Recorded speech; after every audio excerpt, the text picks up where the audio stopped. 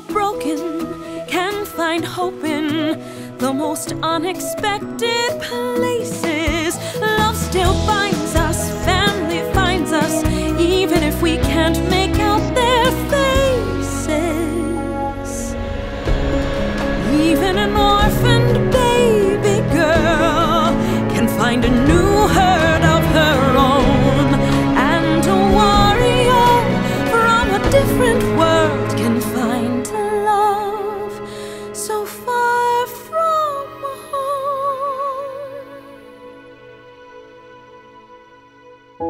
Hello, hello, it's nice to meet